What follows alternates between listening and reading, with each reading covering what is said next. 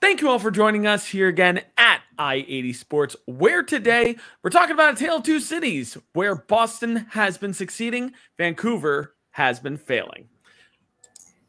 Let us know what you guys think. You're here for another episode of NHL at I 80 Sports.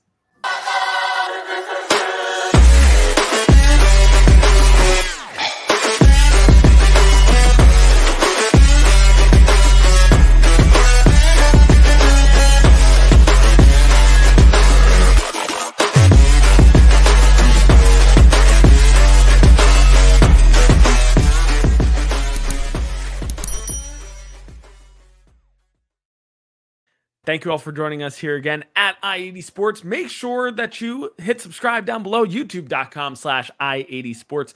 And hit subscribe, hit the bell notification so that way you guys know when we go live. And also drop a comment down below with what you think about Boston season so far.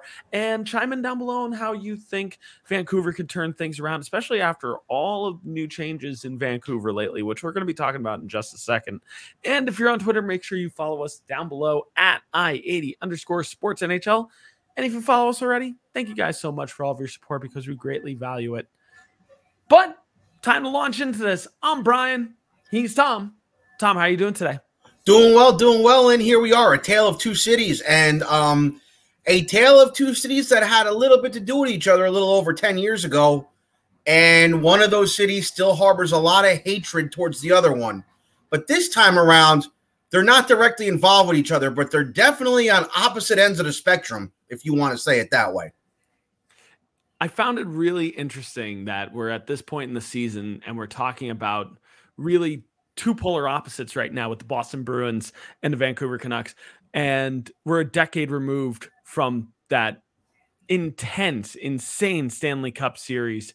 Uh, well, more than a decade removed, but even still, you know, you look at the trajectory of both of these teams and where they've been since, and it's certainly different. And this season is totally polar opposite. So we're going to be talking exclusively about the Boston Bruins and Vancouver Canucks in this episode. We're not going to start with our traffic report like we normally do just because it's a light news week going into the All-Star break. When we get to next week, we'll certainly do a news catch up and also talk about our midseason grades.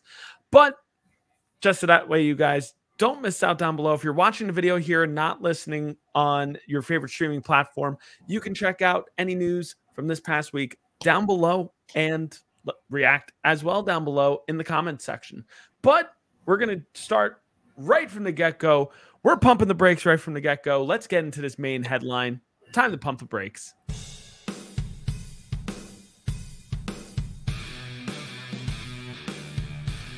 Not so fast. It's time to pump the brakes.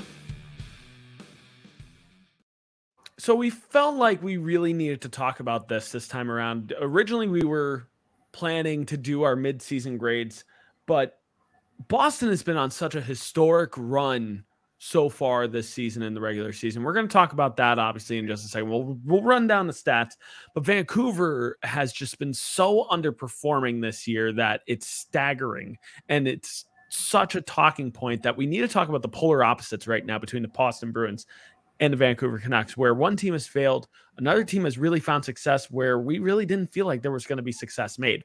So let's start by talking about the Boston Bruins here. We're going to talk about the Boston Bruins' uh, most recent success. So I'm just going to run down some stats, some team stats, uh, courtesy of hockeyreference.com, and just talking about the Boston Bruins first. So Boston's record currently uh 46 games into the regular season or sorry 45 games into the regular season for them uh is currently 36 5 and 4 that's 36 wins 5 losses 4 overtime losses.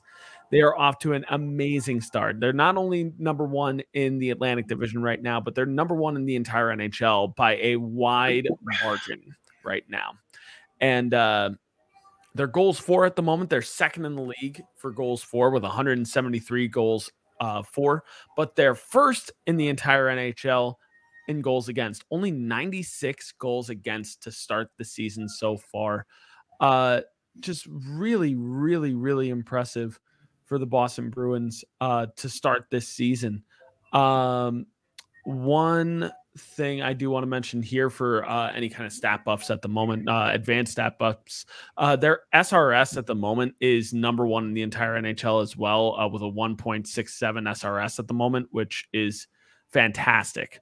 Um, launching more down below, just talking about some stats here and scrolling through hockey reference here. Let's talk about who's really uh, pulling this team forward at the moment. David Pastrnak is off to a fantastic start this season uh, with 63 points in 45 games played, uh, 35 goals to couple with that. He is currently in the top five in goals uh, in the entire NHL at the moment. Brad Marchand, who missed a chunk of time to start this season, but admittedly not as large a chunk that I thought he was going to uh, miss, has 43 points in 37 games so far. He has not missed a beat at all to start this season. David Krejci, who recently returned this season from Boston Bruins as well, 37 points in 40 games.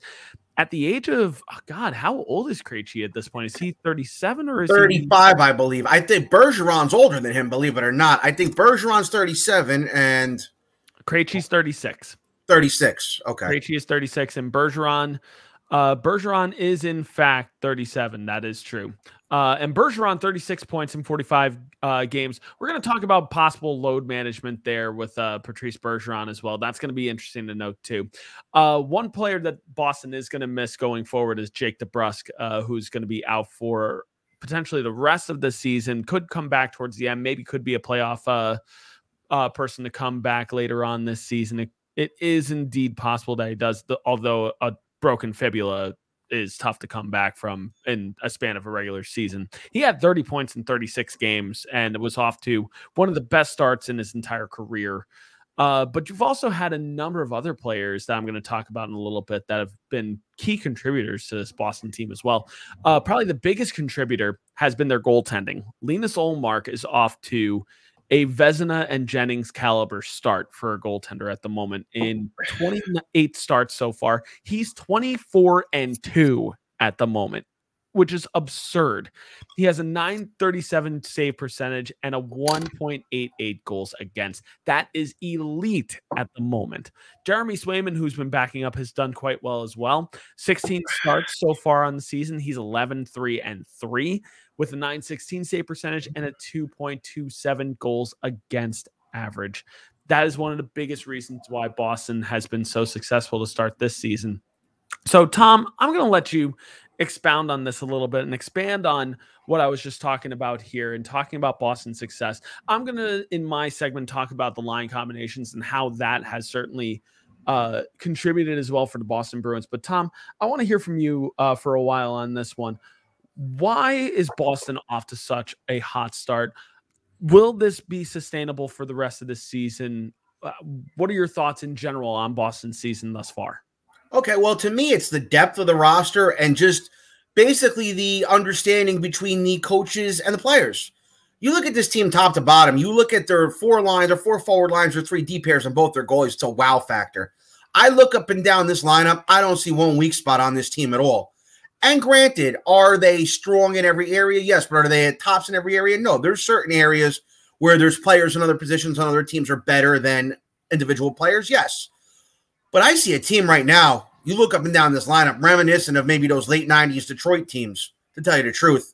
You know, those Detroit teams were able to run four solid lines, three solid deep pairs, and had the two headed goalie monster. And 1997, at least, of Mike Vernon and Chris Osgood, which is eerily similar to Linus Ullmark and Jeremy Swayman. I feel like that, you know what? You could probably start either one of these guys in the playoffs and they'll win you a bunch of games and could win you a cup. I think that, you know, if they if they sat Ullmark down and started Swayman in the playoffs, I don't think this team would miss a beat. Detroit did the same thing in 97. They ran with Osgood as their primary guy most of the way, but who wound up winning the Conn Smythe for them that year? Mike Vernon wound up being their go-to guy in the playoffs, same for 08 in Detroit, where Hasek was their guy most of the way. And then Osgood wound up being the guy who wound up winning them that cup that year. But I'll tell you the biggest thing with this group that's worked out for that's worked out in my eyes is the coaching.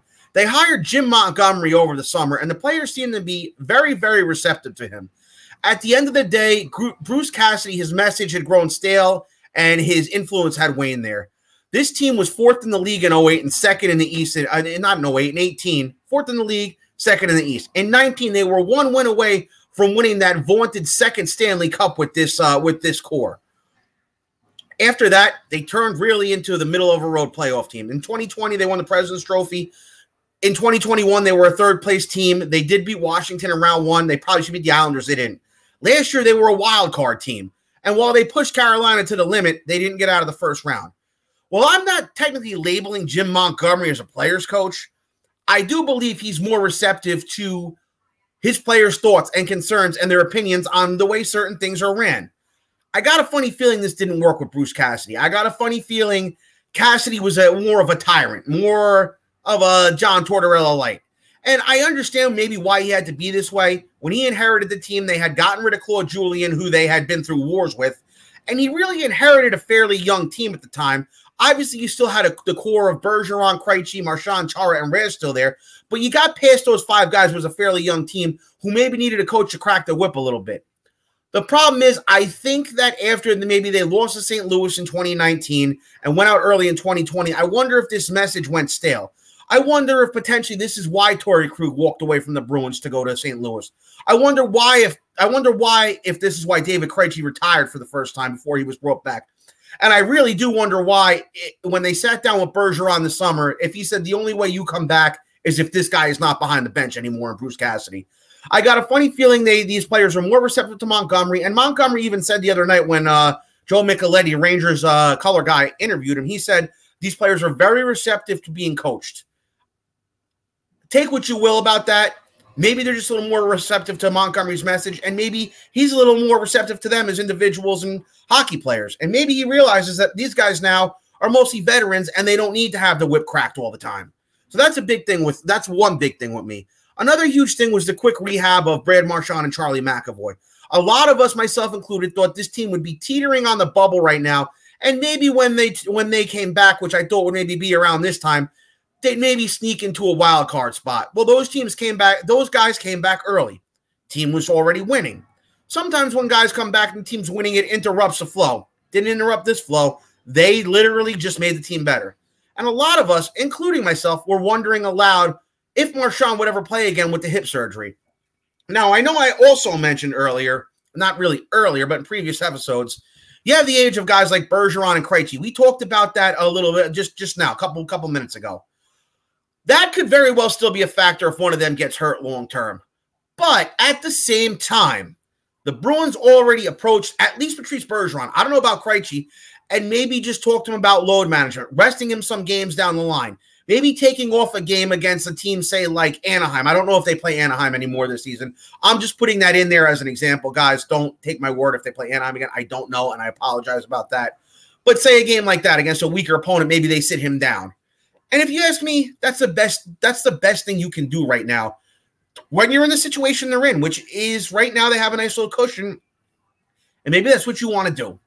As of right now, this team is on pace to win 65 games. That's going to break the all-time win record of 62, which is shared by the 95-96 Detroit Red Wings and the 2018-2019 Tampa Bay Lightning. So you all know we saw what happened with both. They didn't win. They didn't win. They didn't make it all the way to the cup. They didn't win the cup. I think management's well aware of both of those 60 plus win teams. And I think they're well aware that, you know, you can win 60 games all you want, but it matters about winning 16 games in the playoffs.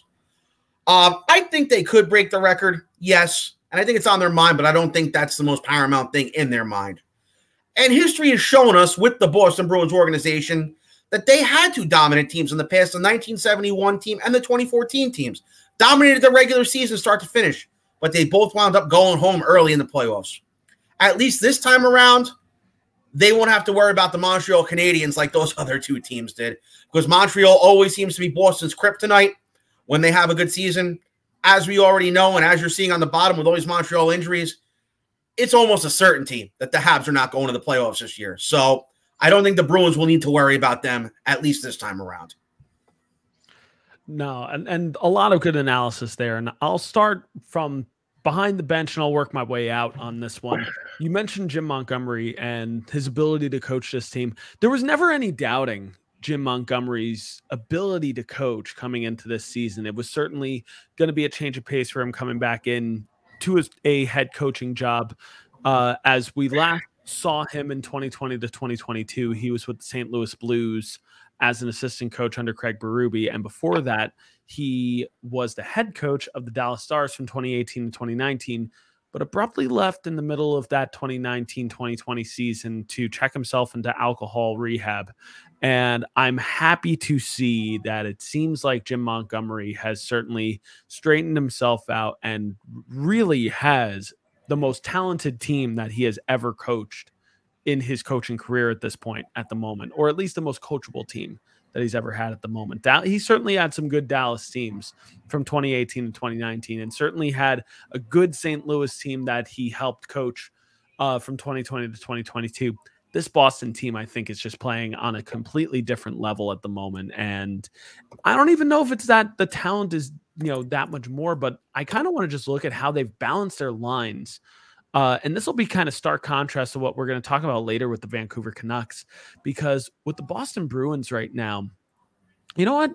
I think it'll actually be easier if I just show you guys uh, this at the moment, because I think that would actually look a little bit nicer. So let's actually take a quick look and gander at uh, Boston's current lines at the moment. There we go. Now we can actually see it because you know the i80 Sports logo was covering it before. Now it isn't. So, uh, just looking up and down these lines, the one thing to keep in mind is that Jake DeBrusk would normally be fi- filling in on that right wing side where Craig Smith is at the moment on that first line. That's at least where he's been uh, the majority of this season. Uh, so right now, that top line is Brad Marchand, Patrice Bergeron, and Craig Smith. And then that second line is Pavel Zacha, David Krejci, and David Pastrnak. Last year, Brad Marchand, Patrice Bergeron, and David Pastrnak was that first line. They've since moved David Pastrnak to the second line to diversify their forwards a little bit more and to you know spread the depth out a little bit more. And we see that moving forward on the third line with Taylor Hall, Charlie Coyle, and Trent Frederic. You've got Taylor Hall, who the majority of his career has been a top six player, really playing an interesting role here for the Boston Bruins on the third line here, and he hasn't suffered. He hasn't suffered at all. He still has 30 points on the season in 40 games played. He's still contributing in a major way for the Boston Bruins. And then on the fourth line, you've got Nick Foligno, uh, Juna Kop- uh, and AJ Greer. AJ Greer has really kind of held his own on, on this fourth line after being an AHL role player for the New Jersey Devils and New York Islanders before. And Nick Foligno just adds leadership to that bottom uh bottom forward pairing and that bottom six in general. They've done a great job filling out the depth of this team. Everybody plays a role and everybody's picking each other up. And they score, they play fast.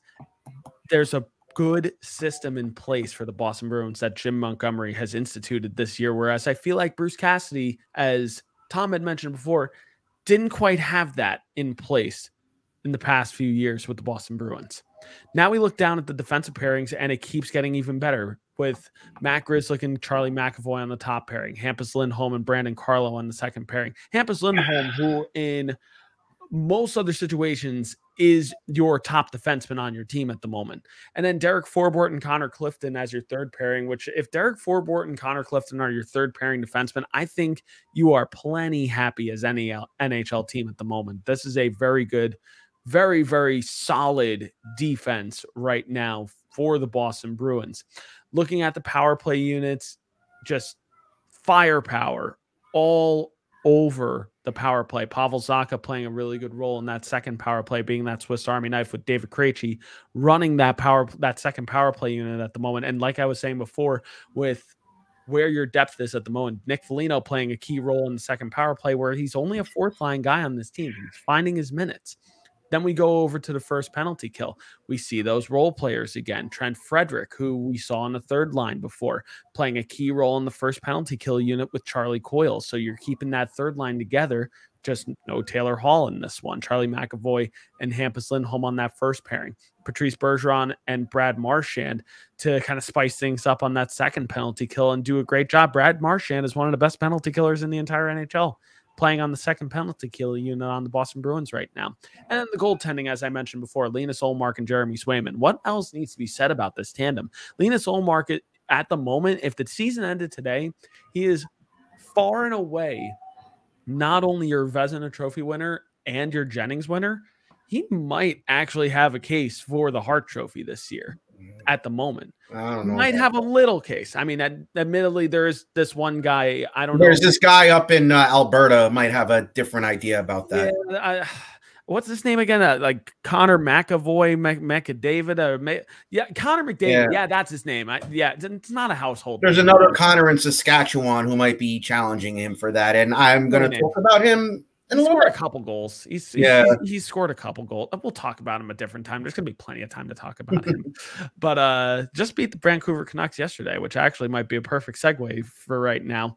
Because uh where Boston has done very, very well this season, the Vancouver Canucks have done quite the opposite at the moment. Because this is a tale of two cities, and we can't talk about just how good the Boston Bruins have been. We also got to talk about how terrible the Vancouver Canucks have currently been which has been quite the uh, exercise in futility at the moment. So let's run down these stats for the Vancouver Canucks at the moment.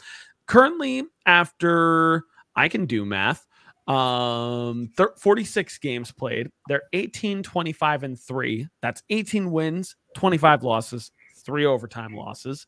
They're sixth in the Pacific Division at the moment. And I believe last I had checked, they're, I think, 28th in the entire NHL.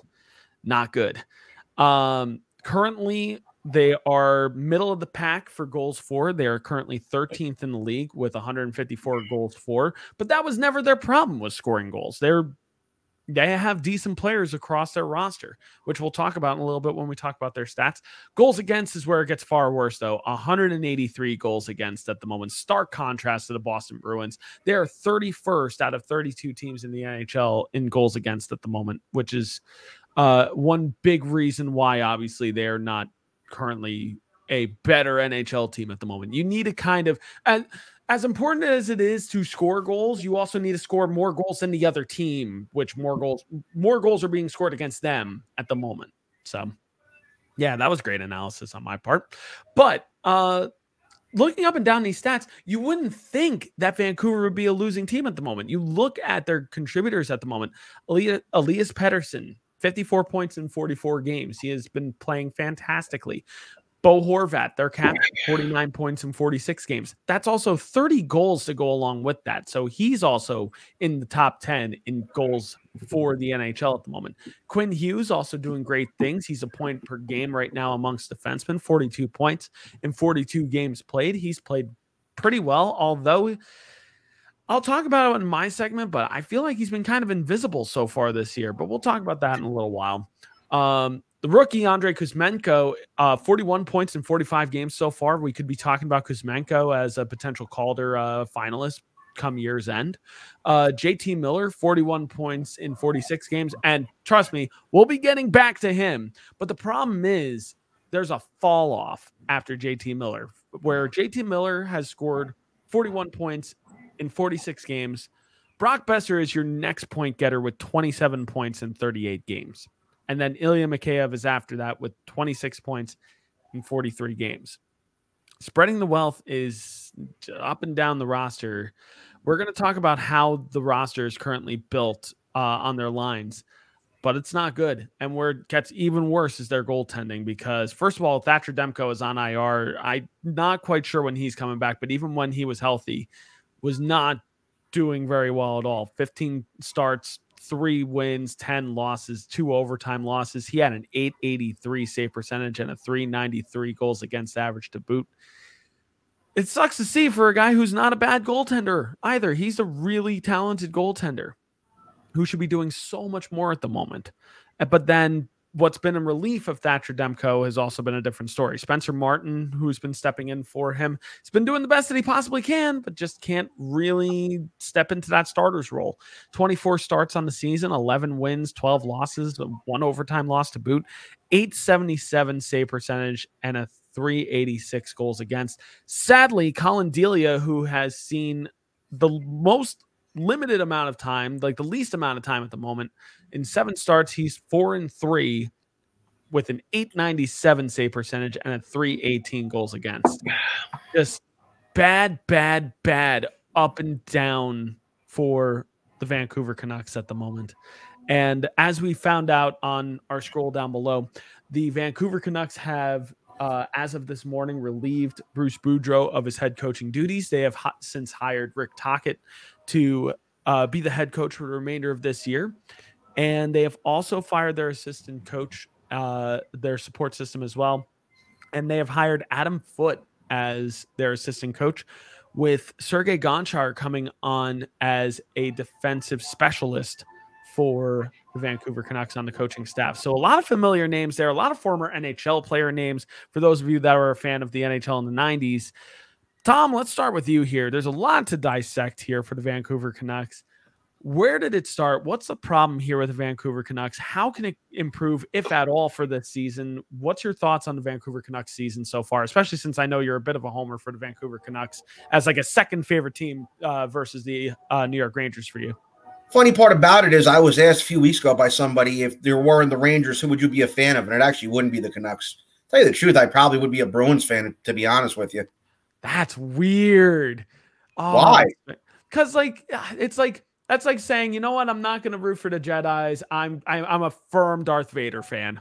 Hey, listen, I wasn't around in the early '70s in the days of Bobby Orr and Brad Park and the fights up in the blue seats where they would steal people from Boston's jackets and light them on fire in the stairwells and stuff.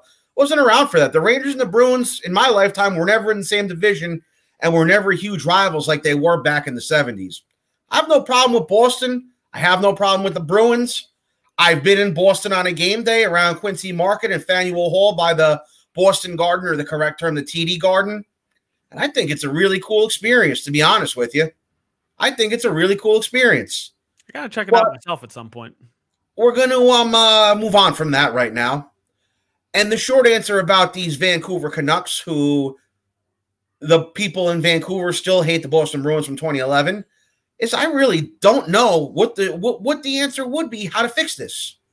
It's a team on paper that has the talent and the depth.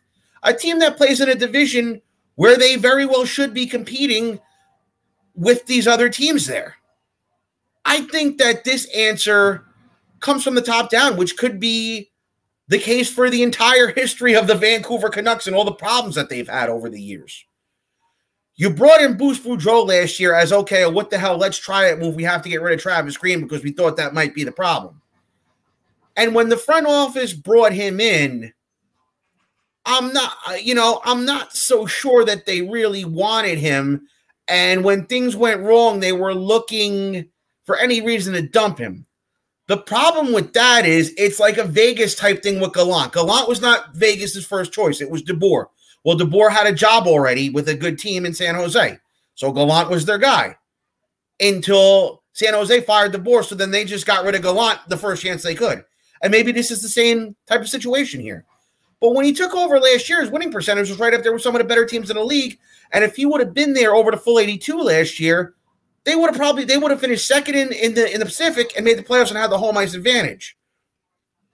So I go back to what I just said earlier. How can you dump a guy who achieved that? The short answer is you really can't. But I think myself and a lot of others thought if there's any sign of struggle here, the footsteps would start to get louder and louder and louder. Well, they got as loud as they possibly could be, and the team finally sacked him in the most peculiar way. This is like something along the lines of like European soccer, when they tell a coach or a player, like when a player decides, oh, well, this will be my last year and I agreed to another team in the middle of the season, so you know they're leaving. Sort of the same thing. So they basically told him, well, you're basically fired. This will be your last game. Rick Tocchet's going to be the new coach and you'll be out of here at this point. I was listening to the hockey guy earlier, and maybe the right thing to do was fire him a couple weeks ago, throw an interim coach in there for the time being, and then hire Rick Tockett. I don't know why they didn't do that. But this is the Vancouver Canucks we're talking about. And throughout history, there's been a lot of uh, I don't know why they did that situations with moves that they've made. Yeah. I was here watching this team back in 2020, and I thought they were going to take huge strides, and maybe they'd be a big player in the West. They had a terrible situation in 2021 that I won't go into. I've talked about it before. They had a bad travel schedule, but they just never ever took the next step. Yet again, this is a huge head scratcher with these front office moves. They did it backwards. They brought Boudreau and his coach. Then they brought in their GM, and then they brought in Jimmy Rutherford as the president. Usually, you do that the other way around. You bring in the president, then the GM, then the coach. Or you just bring in the GM who doubles as the president, and then you bring in a coach. Usually it doesn't go that way. But like I said, throughout the history of the Canucks, does this surprise you at all?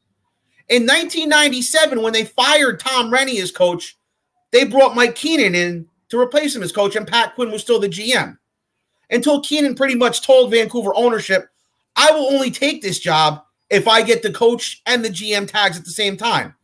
So what they basically did was they fired Pat Quinn as the GM, but let him stay on as president, but he wasn't allowed to do anything. And Mike Keenan wore both hats, and Pat Quinn was just sitting there as a ceremonial guy. Maybe it was the best thing for Pat Quinn because then he went up to Toronto and had and, and had some nice teams over there. And then the following year, they told Mike Keenan, guess what? You're not the GM anymore. Brian Burke is. So Mike Keenan said, "Oh, okay, but I still have um I still have personnel decisions, right? Because in my contract it said even as head coach, I still have a say in player personnel." Like, yeah, no, you don't have that anymore. That's all Brian Burke's.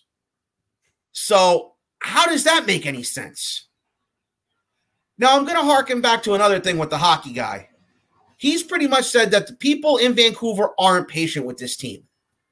Okay, but why can't they be patient? This team never won a Stanley Cup, was basically a doormat until Pat Quinn took over in the 90s. Basically, this would be a team, this would be the first round series for Edmonton or Calgary to come in and get the guys into playoff shape for, for the for the harder rounds coming up. They always seem to have good teams but gloss over important things. You look at the 2011 team with the Sedins and then Kesler, but then you got beyond that, they didn't have all that much. You know, they seem to drive the right people away and give the money to the wrong ones. They backed Wayne Gretzky into a corner in 1996, called him at two o'clock in the morning, and the owner John McCaw said to Pat Quinn, "You need to call him right now, and either he's in or he's not on the team." So when he told Gretzky that, said, "Well, good luck, guys. I'm not signing with you." But then the next year, to a boatload of money at a declining Mark Messier, and I'm sure the Canucks fans remember that all too well about how great Mark Messier was for those Canucks. I get that Vancouver, if you look at the city itself, it's not like, say, in the wintertime of Montreal or Toronto or in Edmonton, where there's 17 feet of snow on the ground from November till sometime in April. I get that the weather's a little nicer. And when the team is bad and the nicer weather, the fans don't show up. But to be honest, the patience factor needs to be paramount here. But the way things are set up right now, I'm not sure it can be. I'm positive Bo Horvat is gone by the trade deadline. But are they going to get a good enough return for him? And don't get me wrong, Horvat's a good player. But I don't think he's going to fetch you a king's ransom over there. I'm telling you, I don't think so. Hell, they barely fetch a king ransom with Pavel Bure. They got Ed Jovanovski, but that was really it. And if they're bad enough to tank and get Connor Bedard, then what do you really do?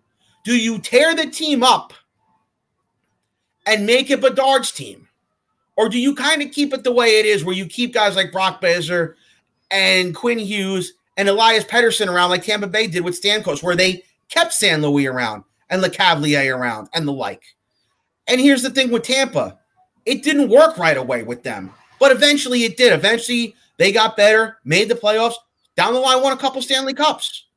But if it doesn't work out right away, are the fans in Vancouver going to be calling for management's heads again? Are they going to be calling for Rutherford's head? And is Rutherford going to start sending Elias Pettersson and Quinn Hughes elsewhere and making Connor Bedard team if he into, if he indeed does draft them? Honestly, what this ownership really needs to do is they need to go back and look at the Pat Quinn era in the early 90s and the Brian Burke era in the early 2000s when this team had some structure and did things the right way and built up competitive teams. Did they win the Stanley Cup? No. But they built up competitive teams. And a lot of times winning the cup is luck of the draw. And I think that, and it's luck of the draw, and it's being serious and focused. And that 2011 team, 11 team, I thought would win it, but obviously against the aforementioned Boston Bruins, they forgot that you actually have to go out there and win four games to win the Stanley Cup and not three, and you know have to actually give the same effort on the road as you do at home. But the reality is, with Vancouver right now, it's still a mess. I, I, I they, they did this whole thing backwards, and once again, here we are here we are. They're paying for it. And you heard my historical examples before. And it just seems like they never learn from what they did in the past. Yeah. I don't even know where to start right now for the Vancouver Canucks.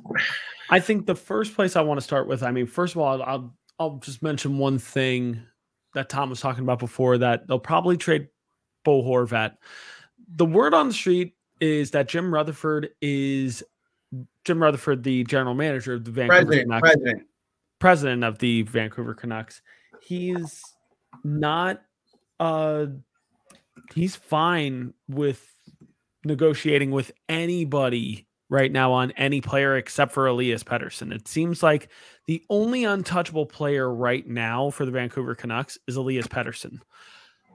That means that every other name is out there and can be negotiated for. Bo Horvat is going to be an expiring free agent at the end of this year, who's going to be a UFA at the beginning of the offseason this year. Could be a highly coveted center coming into the offseason as well. Uh, a lot of teams I know would gladly take his services at the moment. Brock Boeser could be an interesting piece. Conor Garland could be an interesting piece as well. Quinn Hughes, absolutely, but that's going to take a king's ransom to go, go, and get him. But there are a number of players that could be uh, jettisoned from this Vancouver roster, but uh, by the trade deadline in a month and a half at the moment. But we, I mentioned before with Boston's lineup and part of their success was how their lineup is currently built and how their lines are currently built that facilitate the success. It's kind of the opposite right now for the Vancouver Canucks. And I kind of want to show this off right now, courtesy of Daily Faceoff, because you look up and down and how these pairings are, and it's a two line team at the moment. You got JT Miller, Bo Horvat, and Conor Garland on that top line. Fantastic top line, first of all. Like, that is a very good first line in the NHL in general. JT Miller, Bo Horvat, Conor Garland. Ton of talent. You look at that second line Andrei Kuzmenko, Elias Pettersson, Brock Boeser. Fantastic second line. That honestly might be one of the more talented second lines in all in the entire NHL. That's a top 10 second line to me but then it drops off significantly. And yes, I do understand that when we look down at IR at the moment for the Vancouver Canucks, yes, I understand Tanner Pearson's currently hurt. I know that that hurts their depth at the moment. You know, on defense, Tucker Poolman's currently hurt. That hurts their depth, and I understand that. But Ilya Mikheyev, Sheldon Dries, or Dries rather, and Jack Studnicka. Uh, it's a pretty weak third line to me. That's a pretty weak third line. Then the fourth line, I think, gets even weaker with Dakota Joshua, Curtis Lazar, and Will Lockwood. And yes, I again I understand that Tanner Pearson would factor somewhere in here, but I also don't think that that will really really help here. I think you need to balance these lines a little bit better. I think you need to consider maybe using Ilya Mikheyev in the top six and bump one of those six names in the forward group in the top six down. Maybe you move Conor Garland down to the third line and try to work work around a little bit. Maybe you move JT Miller down to that third line and try to get something going in that third line. Maybe on the fourth line, maybe that gives you the opportunity to at that point maybe move Jack Studnicka down to that fourth line, kind of help out and maybe create something in that fourth line. These lines just are not balanced. It's very top heavy. And then we look down at the defense. Quinn Hughes really doesn't have support. You we've got Quinn Hughes and Luke Schenn together and Luke Schenn is a is a perfectly fine defenseman, but you need somebody of equal quality to Quinn Hughes to really complement him. And he doesn't have that in Luke Schenn. Maybe a few years ago, Luke Schenn had that, but not now. Schenn, I heard, is pretty much good as gone at the deadline as well. Yep, he's going to be another name that will likely uh, be a Mike Commodore pack your bags uh, candidate. And yes, I am censoring myself there. Um, the second pairing, I uh, again lineup balance here. Oliver Ekman Larsson and Tyler Myers should be far away from each other in terms of defensive pairings. You've got to separate the pylons there. You've got two orange traffic cones on that second pairing. And I don't know why it was thought that that would be a good idea. You know, maybe you move you know, Tyler Myers down to the third pairing move Ethan Bear up for a little bit more mobility. Maybe you move Oliver Ekman Larsson up to the top pairing to pair with Luke Schenn and move Quinn Hughes down with Tyler Myers so that way there's a little bit more mobility on that defensive pairing. But I said it even coming into the season. I didn't like that defensive pairing, and I think it's honestly kind of shown a little bit. I don't like that defensive pairing. And then Travis Dermott and Ethan Bear, that's a perfectly fine third pairing, but at that point, it's kind of moot when your top four is underwhelming. And then again, the power play units are fine. They have no problem scoring goals at the moment.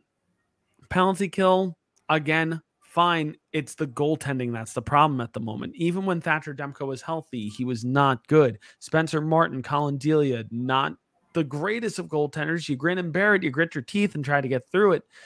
But at the end of the day, you know, the systems that were put in place were not very good as well. I feel bad for Bruce Boudreau because he did not deserve to be jettisoned the way that he was jettisoned from the Vancouver Canucks.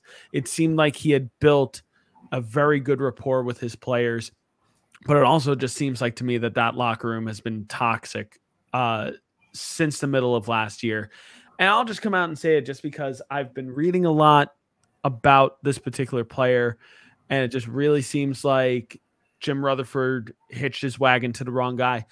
JT Miller is an absolute cancer in that locker room at the moment. He has been a narcissistic, arrogant, you know, can do no wrong type of player who has been playing very selfishly and acting very selfishly for this team for the past year and a half since he got his, you know, big contract.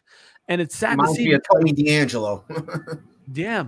And he's been if you don't believe me on this one, go and go and find some of his post game pressers. They are really difficult to watch and frustrating to watch if you're a Vancouver fan. And he is slowly becoming public enemy number one in Vancouver. He's a good player. The Ra- but but look at him. The Rangers had no problem jettisoning him off. Tampa had no problem getting rid of him. Yeah. So It- uh, the writing's on the look at it wall, just like a very talented player. But you know, if the head is not there, if his head isn't all the way in on committing to this team and committing to winning, what does it matter? It's just pad statting. It's just stat padding at that point. yeah. You know, it's you got to have players that play for each other, and JT Miller does not play for the rest of his players. It seems like it seems like Bo Horvat is a guy that would literally die on the ice for the rest of his players, and they're about to trade him at the deadline after they should have gotten him that contract extension last year instead of JT Miller. To me, at least. I mean, Vancouver fans certainly chime in down below. You can tell me I'm wrong. You can tell me I'm right. But it just seems like it starts there with the attitude. And it seems like this team needs an attitude adjustment at the current moment. And it's not even just with head coaching, it's not with the coaching. Jim Rutherford has just not assembled this team correctly, as Tom alluded to before. He did everything in a very disorganized way and just Well, a very ass you know what? backwards way. I don't blame Jim Rutherford for this. I don't. Jim Rutherford has is a proven winner everywhere he's gone. But here's what they did wrong. They hired Boudreau as your interim coach. This is ownership's fault. You brought in Boudreau. Then you brought in Patrik Allvin as your GM. Then you brought in Jim Rutherford as your president, who I'm not 100% sure wanted to keep Boudreau around. But then they told him, well, you don't have a choice. You have to keep him. So how can you run your team if your ownership is telling you what to do? It's the same thing like with these delusional Ranger fans who jump on Gerard Gallant to, well, he got fired in Florida. He got fired in Florida because Florida Florida hired an analytics department and told them who to play, where to play him, and how long to play him. So how can you coach a team? It's the same thing with delusional Devils fans that say, "Oh, it starts with Lindy. Lindy's Lindy's got to go." hasn't been Lindy. Hasn't been Lindy's fault whatsoever. I mean, I'm gonna I'm gonna harken it back to another sport right now, to football, to Vince Lombardi when he was coaching in Green Bay. As we know, the Green Bay Packers are not a sole mm. proprietorship; they're owned by shareholders and stakeholders. He was called into a meeting one day with the shareholders and the stakeholders and said, "This is who we would like. This is who you're going to play the first game. This is where we want him to play." You know what he said? He ripped the paper apart and said, "I'll coach the goddamn team. Thank you very much," and walked out. Damn and it's true. It's it's direct parallels to that. I do feel bad for Bruce Boudreau. This could have been his last rodeo with the team. I don't know if I foresee Bruce Boudreau hooking on as a head coach in the NHL again. And if this is the way he goes out, it sucks. It really, really sucks because it's, it's it really did not seem like to me that this was on him. Um, I obviously there's blame to point at both sides right now with coaching, with the players, with the front office. But it really just seems like to me that the Vancouver Canucks at the moment just need an enema. They need to hit a hard reset at the moment. And uh, it could very well be time to jettison some key pieces, get younger, retool, and try to get back in Elias Pettersson's window at the moment and, you know, build around. Honestly, if I'm Vancouver, I build around three players at the moment. There are three players I would build around. I would build around Elias Pettersson. I would build around Quinn Hughes. I would build around Thatcher Demko because even with Thatcher Demko's shortcomings, he is still a very good goaltender who has not had the best system in place in front of him. And we've seen time and time again for some goaltenders that, you know what, sometimes you're dealt a bad hand. You know, Henrik Lundqvist had to deal with tons of terrible defenses in front of him for years to finally actually no, that, that, other, other way around. Other way around. Lundqvist didn't have Lundqvist didn't have top six guys who were a point per game or over in the regular season in the playoffs. Lundqvist had some great defensemen in front of him: McDonagh, McDonagh, Girardi, and Staal. What he didn't have was a point per game center on line one or two, or a point per game winger. He didn't have that. He had Gaborik who could score a lot of goals. He had Nash who could score a lot of goals. He had Marty St. Louis who was a good player, but on the older side. But what he never had was that offensive support. Yeah, you had the same. You have the same thing also with Carey Price. You had the same thing with Cory Schneider once he got to the Devils as well. You know, just bad after bad after bad after bad. And it's no different here for Thatcher Demko, in my opinion. I think Thatcher Demko is a very honestly, I think he's not a name that when you mention the other three names that I mentioned before that he's in that conversation, but I think maybe by the career's end, we could be talking. I think that I think if you bring Lundqvist up, it's maybe similar to the first part of his career when Tom Renney was coach, where you had guys like Nylander and Straka and Jagr and Shanahan up front, who were point per game guys who turned it on when the playoffs came around. But then on D, you had guys like Malik and Roosevelt and Fedor Tyutin and Tom, Thomas Pock and guys like that who weren't necessarily bad defensemen, but weren't regarded as some of the best in the league, weren't Norris Trophy candidates. You know what I'm saying? That's true. Either way, my heart breaks for Vancouver at the moment. I wish, you know, the city of Vancouver all the best as they navigate through the rest of this very difficult NHL season. It's not it's it's got to get worse before it gets better. And take it from a Devils fan uh that saw a rebuild, take it from a Rangers fan that saw a short rebuild as well. It's got to get worse before it gets better and uh, buckle up, buy some beer, and uh, just try to enjoy the ride for right now. It's going to be bumpy for sure. But before we go right now, let's get to our question of the day, which got two questions of the days. It's a two for one special because we're talking about a tale of two cities. So, first question is ultimately, will the Boston Bruins win the President's Trophy? And will the Vancouver Canucks turn it around this season with Rick Tocchet at the helm? Tom, let's start, start with you. I want to start with one thing real quick. It's kind of a burn against both teams. Don't kill me for this. I mentioned how the Bruins are on pace to win 65 games this year. And I mentioned how, you know, Detroit and Tampa have the record at 62 apiece and couldn't do it. The only team to ever win 60 plus and win a cup were the 77 Montreal Canadiens, a thorn in the Bruins side, who swept those same Boston Bruins in the Stanley Cup finals that year on a goal by one of your favorite Jacques Lemaire in overtime to win it. Now, to go to the Bruins side, the Bruins in 2014 were everybody's Stanley Cup favorite, including mine. And those same Montreal Canadiens took the Stanley Cup away from those Bruins by beating them in seven games. But guess who the Boston Bruins first round draft pick that year was? David Pastrnak. Now, guess who would have drafted Pastrnak in theory if the Bruins would have won the Stanley Cup? Who? The Vancouver Canucks, who had Pittsburgh's pick that year. So if the Bruins would have won the cup, Pastrnak would be wearing Canucks colors right now and not Bruins colors, unless the management found a way to trade up for the 25th pick. But that's something we can talk about another day. Short answer again: Bruins President's Trophy, yes. Vancouver turn it around. I don't know, probably not. Yeah, to me, I'll keep it short and sweet. Also, uh, for Boston, it would take a an epic collapse for them not to win the President's Trophy at the current moment. There are certainly a few teams that could challenge to catch him, which uh, could be the Montreal, uh, not Montreal, could be the Toronto Maple Leafs, could be the Carolina Hurricane, although them just losing Max Pacioretty certainly hurts.